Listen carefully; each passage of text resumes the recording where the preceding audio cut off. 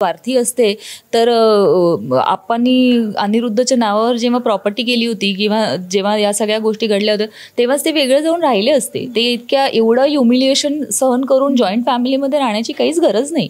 म्हणजे संजना इतकी इंडिपेंडेंट आपण दाखवलेली आहे तरी सुद्धा इतकं ह्युमिलिएशन घेऊन सुद्धा संजना इथेच आहे. सो ते कधीच सेल्फिश नव्हते. नमस्कार मी मधुरा शिधाय आणि कलाकृती मिळणार तुम्हा सगळ्यांचं मनापासून स्वागत आहे. आई कुठे काय करते या मालिकेमध्ये? सध्या एक नवीन प्रोमो आपल्याला पाहायला मिळतोय ज्यामुळे सगळेच जण खरं तर थक्क झालेत आणि त्यानिमित्ताने तेच सगळं जाणून घेण्यासाठी आज मी समृद्धी बंगल्यामध्ये आलेली आहे आणि माझ्याबरोबर आहेत सगळ्यांचे लाडके संजना आणि अनिरुद्ध. हाय हाय कसे आहात? छान. आता एवढा शॉकिंग प्रोमो आलेला आहे इतका मोठा ट्विस्ट आहे मला धक्का बसलेला त्यामुळे कसे आहात विचारल्यानंतर मी खूप शॉक स्टेटमध्ये आहे. I am not in a very good state एकतर माझ्या डोक्याच्या पलीकडचा माझ्या डोक्याचा भुगा झाला आहे की आशुतोष केळकर नसेल हे कॅरेक्टर नसेल अरुंधतीच्या आयुष्यामध्ये इतका मोठा आघात झाला आहे आणि ते पचायला खूप त्रास होतो दुसरं आणखीन पर्सनली सांगायचं झालं तर ओमकार तो कॅरेक्टर प्ले करत होता ज्याच्यावर माझा खरंच जीव होता. आम्ही दोघे मेकअप रूम शेअर करत होतो आणि आता तो नसेल शूटमध्ये तर मी नमिताला विचारलं नमिता ती म्हणाल नाही तो नसेल म्हणजे तो तिच्या मेमरीजमध्ये तो येत राहणार तो त्या आठवणीमध्ये येत राहणार त्याच्या जुन्या आठवणी. म्हटलं प्लीज बोलवत राहा त्याला कारण ही इज अ फन गाय पण मला असं वाटतं कुठेतरी कलाकार हे अनिरुद्धच्या बाबतीत सुद्धा होऊ शकलं असतं. मध्ये अनिरुद्ध रागात जातो संजनाची भांडून जातो आणि त्याचाही ॲक्सिडेंट होतो. तो आय थिंक तिथे अनिरुद्धचा सुद्धा प्रवास संपू शकला असता. इथे दिस दिस इज अ सिरियल और हे आयुष्य आहे. कुठेतरी ती सुरुवात झाली ती संपते. सो ते संपल्या ते संपवायचं कारण पण खूप महत्त्वाचं होतं. कारण आईच्या आयुष्यामध्ये कुठेतरी तो एक धक्का येणं किंवा तिच्या आयुष्यामध्ये स्ट्रगल येणं जरुरी होतं असं आहे. कारण सुरुवात सिरियलची अशी झाली होती की आई कुठे काय करते ती सगळ्यांचं सगळं करत असते स्वतःचं काहीच करत नाही. मग या प्रवासामध्ये तिला जेव्हा धक्का बसतो अनिरुद्धनी दुसरं लग्न केल्यामुळे तिने तिचा प्रवास सुरू केलेला असतो आणि तरी ती सगळ्यांचं करत असते. आता सेकंड फेजमध्ये आता मी this is a part two kind of a part two याच्यामध्ये आईवर इतका आघात झालेला आहे अरुंधतीवर. आता तिला कोण मदत करतंय? तिने सगळ्यांची मदत केली पण आता तिला कोण मदत करतंय आणि तिला कोण सपोर्ट करतोय हा एक वेगळा प्रवास आहे विच इज व्हेरी इंटरेस्टिंग पण आता अनिरुद्ध आणि संजना म्हणून हा जेव्हा ट्रॅक सुरू होणार आहे तर तेव्हा तसं बघायला गेलं तर अनिरुद्ध आणि संजना हे सगळ्यांमध्ये असतात पण ते स्वतःचा प्रत्येक गोष्टीमध्ये विचार करतात. थोडेसे स्वार्थी आहेत दोघं जण. आता हा ट्रॅक आल्यानंतर अनिरुद्ध आणि संजना म्हणून तुमच्या मनामध्ये पहिला प्रश्न हा येतोय का की आता अरुंधती पुन्हा घरी इथेच राहायला येणार? आणि पुन्हा तुमच्यामध्ये काहीतरी नवी वादळ येणार? हां म्हणजे मग अशी संजनाने तिचा तिचा स्टँड क्लिअर केलाच आहे की संजनाचं काय म्हणणं आहे. तिने ती इथे आली आहे हेच तिला पटलेलं नाही आहे मुळात संजनाला. पण आता आई घेऊन आली आहे तिला तर आता त्याचं काहीच करू शकत नाही. पण मग तिने हे विसरून चालणार नाही की ती आता या घरची सून नाही आहे ती या घरची आता मुलगी आहे मुलगी म्हणून तिला इथे आणलेलं आहे. सो तो स्टँड तिचा क्लिअर आहे आणि संजना अनिरुद्ध कधी मला नाही मला नाही वाटत ते स्वार्थी कधी होते. ते त्या त्या पद्धतीने त्या त्या सिच्युएशननुसार ते रिॲक्ट करत गेलेले आहेत. स्वार्थी असते तर आपण अनिरुद्धच्या नावावर जेव्हा प्रॉपर्टी केली होती किंवा जेव्हा या सगळ्या गोष्टी घडल्या होत्या तेव्हाच ते वेगळं जाऊन राहिले असते. ते इतक्या एवढं ह्युमिलिएशन सहन करून जॉईंट फॅमिलीमध्ये राहण्याची काहीच गरज नाही. म्हणजे संजना इतकी इंडिपेंडेंट आपण दाखवलेली आहे तरी सुद्धा इतकं ह्युमिलिएशन घेऊन सुद्धा संजना इथेच आहे. सो ते कधीच सेल्फिश नव्हते. हां पण त्यांचं त्यांचं काय म्हणणं आहे ते कुणालाच पटत नाही कोणाला ऐकून घ्यायचं नाही आहे त्याच्यामुळे हे प्रॉब्लेम्स आहे पण मग तेच म्हणजे आत्ताच आम्ही काल परवा सीन जो केला ज्यात मी म्हणते की अनिरुद्धला मी म्हणते की मी सांगते या मोठ्या एवढ्या मोठ्या बंगल्या अनघाचं जेव्हा ते सगळं हॉस्पिटलचा जो सिक्वेन्स आपण केला तिला हार्ट अटॅक येता येता राहिला तेव्हा मी अनिरुद्धला म्हणते की आपण एक मेड ठेवूया. एवढ्या मोठ्या बंगल्याची साफसफाई नाही होणार. अरुंधती करत होती कारण ती घरी होती. ती हाऊसवाईफ होती. आम्ही दोघी काम करणारे आहोत बाहेर. मग घरचं बाहेरचं तुमचे सणवार तुमच्या सगळ्या गोष्टी करून आमच्या आमच्याच्याने नाही झेपणार. सो मेड ठेवूया. हे मी अनिरुद्धला सांगते आणि कट्टू अरुंधती तेच सांगते. बरं मी सांगितलेलं त्यांना पटत नाही पण ते अनिरु अरुंधतीने सांगितलं ना म्हणजे मग ते करेक्ट आहे. अरे तेच सांगितलं. फक्त कदाचित सूर वेगळा असेल एवढाच तो काय फरक? किंवा संजना म्हणाली आणि अरुंधती म्हणाली. सो प्रॉब्लेम हा आहे की आम्ही तेच म्हणत असतो फक्त त्यांना ते ऐकायचं नसतं. तेच ते तिने सांगितल्यानंतर ते सो त्याच्यामुळेच हे खटके आहेत. बाकी काही नाही. बाकी तुम्ही या तुम्ही गोंधळ घाला तुम्ही इकडे एकमेकांना एंटरटेन करण्यासाठी नाचगाणी करा. काहीच प्रॉब्लेम नसतं. संजनाला नाही पटलं संजना उठ गुड नाईट म्हणून निघून जाते. संजनाला काय खायचं असेल ती तसं तिचं त्याचं बनवून खाते. सो काही तो प्रॉब्लेमच नाही आहे फक्त एवढंच आहे की जसं आम्ही आशुतोष आणि अरुंधतीच्या मध्ये नाही ना कधी गेलो. ना अनिरुद्ध कधी गेला. सुरुवातीला तिच्या लग्नाच्या वेळेला अनिरुद्ध अगेन्स्ट होता. जे त्याचं त्याचं वेगळं कारण आहे आणि जे ते जे जो जे तो म्हणत होता ते ते दिसलंय घडलेलं. पण नंतर तो कधी गेला का? तिथे काही करायला? किंवा संजना कधी गेली का? नाही. सो तसंच तुम्ही त्या त्या त्या स्पेसमध्ये येऊ नका. इतकंच म्हणणं आहे तिचं. ती आली तर संजना संजनाचा स्टँड घेणार. नाही आली तर संजना तिला चहा पण करून देईल. हां. अनिरुद्ध स्वार्थी आहे.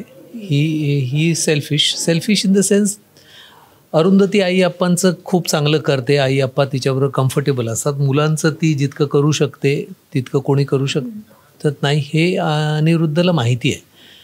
त्यामुळे त्याचा स्वार्थ असतो अरुंधतीला इकडे बोलवण्यामध्ये.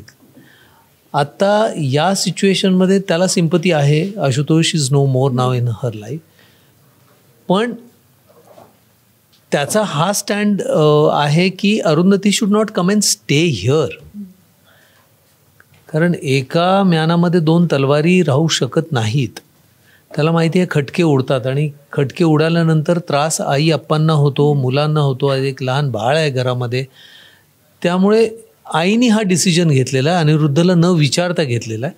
सो अनिरुद्धचं असं आहे की तू विचारायचं तर. बरं तुला तिथे इथे आणायची काय गरज होती? ती तिचं तिचं एक घर आहे. आशुतोषचं घर जरी तिने सोडलं आशु आशुतोषच्या आईने तिला हकलून दिलं पण she could she was independent तर I think Aniruddha is very practical तो स्वार्थी म्हणण्यापेक्षा ना इज व्हेरी प्रॅक्टिकल की त्याला त्याचं आयुष्य त्याच्या घरच्यांचं आयुष्य त्याच्या प्रेमाच्या लोकांचं आयुष्य खूप छान जावं. आणि संजनाच्या बाबतीत पण त्याचा स्टँड व्हेरी क्लिअर आहे की तू राहते तू शांतपणे राहा. तुला मी डिवोर्स दिलेला आहे डिवोर्स पेपरवर साईन केलेलं आहे तर तुझा रस्ता पण मोकळा केलेला आहे मी की यू इफ तुला पटत नसेल तर यू लिव्ह आम्ही बघतो काय करायचं ते. सो तो ना तो स्वार्थी म्हणता येईल की तो आणि तो खूप डिटॅच तो सेल्फ सेंटर्ड आहेच. पण self centred for his family he is very family person तो आता तिच्या नातीला सांभाळतो तिचे कपडे वाळत घालतो त्या अनगाला सांभाळतो. So I think this is a new twist आलेला आहे. आणि त्याचा स्वार्थीपणा बघूया काय होतं ते. पण जेव्हा जेव्हा अरुंधतीच्या आयुष्यामध्ये वेगवेगळ्या घटना घडतात किंवा काही प्रसंग येतात घरातल्या प्रत्येक व्यक्तीची काहीतरी वेगळी प्रतिक्रिया असते. मला आता सांगा खऱ्या आयुष्यामध्ये तुम्ही मालिकेमध्ये जी भूमिका करता त्यावर तुम्हाला प्रेक्षकांच्या किंवा तुमच्या घरच्यांच्या काय काय प्रतिक्रिया असतात? कारण का तसं बघायला गेलं तर एक थोडी नेगेटिव्ह शेड आहे तुमच्या कॅरेक्टरला त्याच्यामुळे जेव्हा जेव्हा तुम्ही विरोधात जाता तिच्या तेव्हा काही तिला बोलता किंवा काही वेगळा ट्विस्ट येतो त्यावेळेस तुमच्या घरून साधारण काय प्रतिक्रिया असतात? नाही ग मला मला खरंच असं कधीच घरनं अशी काही अशी वेगळी प्रतिक्रिया मिळत नाही. ते खूप आवडीने बघतात आणि मला ना असं वाटतं की प्रेक्षक खूप सुजाण आहे की त्यांना कळतं की हे हे एंटरटेनमेंट आहे आणि काय काय आहे. पण काम छान झालं तर छान म्हणतात किंवा अरे मस्त केला सीन खूप वेगळ्या पद्धतीने. पण मला असं काही कधी मोराल डाऊन होईल किंवा काहीतरी वेगळंच काहीतरी रिॲक्शन आली आहे घराच्या घरच्यांकडनं नाही. तसं कधीच कामाच्या बाबतीत कधीच तशी रिॲक्शन नाही नाही नाही. नाही माझं तर निगेटिव्ह नसल्यामुळे मला काहीच माहिती नाही की निगेटिव्ह मला निगेटिव्ह रिॲक्शन्स येतच नाही. मी ते निगेटिव्ह करतच नाही. मला पॉझिटिव्ह रिॲक्शन्स येतात. आणि नॉर्मल आहे प्रत्येक आयुष्यामध्ये प्रत्येक माणूस कधी ना कधीतरी चिडतो त्याचा एक वेगळा स्टँड असतो जो लोकांना पटत नाही आणि that is but natural he is a very normal person आणि कुठेतरी लोक आयडेंटिफाय करतात अनिरुद्धला. Aniruddha is a very human character he is not a negative character म्हणजे मी त्याला कधी म्हणजे निगेटिव्ह तसं नेगेटिव्ह नाही पण कधी कधी असं की तुमची जी मतं असतात ती कधी कधी अरुंधतीच्या विरोधात असतात. त्याच्यामुळे प्रेक्षक की हे असं का बोलत असते? कारण ती सुद्धा उद्धटसारखं बोलत असते त्याला. तिने सुद्धा आपलं आपली मर्यादा सांभाळायला पाहिजे अनिरुद्धशी बोलताना. आता अनिरुद्धनी चूक केली त्यांनी शंभर वेळा माफी मागितली आहे. आता तेच तेच त्याला ऐकून दाखवल्यानंतर तो बोलणार which is a very natural thing की अरे हो ना मी माफी मागितली आहे माझ्याकडनं झाली चूक. लेट्स मूव्ह फॉरवर्ड ना काय तेच तेच घेऊन बसलो. So I think I don't see Aniruddha as a negative character ज्याचे निगेटिव्ह त्याचे काय कॉमेंट्स येतात ते सुद्धा मी खूप पॉझिटिव्हली घेतो कारण त्याला कुठेतरी तो भावला आहे. त्याला कुठेतरी त्याचा राग आला आहे सो आय थिंक या मालिकेच्या लेखकाचं नमिताचं किंवा रवी करमरकर डिरेक्टरांचं किंवा प्रोडक्शन हाऊस राजन शाहींचं जी इच्छा होती की अनिरुद्धकडनं हे बोलून घ्यायचं म्हणजे लोकांना कुठेतरी लागेल ते साध्य होत आहे. आणि मग मी त्याला कॉमेंटवर त्याचं उत्तर देतो. मी I I respect that comment because that audience has seen my work त्यांनी त्याच्या आयुष्यातला वेळ माझ्या सिरियलसाठी दिलेला आहे माझं काम बघितलेलं आहे. मग त्याचा अधिकार आहे कॉमेंट करायचा. तू शिव्या घाल मी आहे ना तयार. मी शिव्या खातो आणि मी परत दुसऱ्या एपिसोडमध्ये आणखीन काहीतरी वेगळं चांगलं करायचा प्रयत्न करतो. So I love these comments जे बघून करतात. जे सिरियल बघतच नाहीत जे इन जनरल कॉमेंट करत असतात त्यांना मी इग्नोर करतो. म्हणजे त्यांना उत्तर देण्याचा प्रश्नच येत नाही. मला वाटतं ह्याच सगळ्या ज्या कमेंट्स येतात ती मला वाटतं तुमच्या कामाची पोचपावती आहे. त्याच्यामुळे हे. काम जे आहे ते तुम्ही खरंच म्हणजे मला ॲक्च्युली सगळ्यांच्या वतीने तुम्हाला थँक्स म्हणायला आवडेल. कारण तुम्ही कधीच सुट्टी सणवार ह्या- किंवा तब्येत ह्या कोणत्याही गोष्टीचा विचार न करता अहोरात्र आमच्यासाठी मेहनत करून मनोरंजन करता आमचं.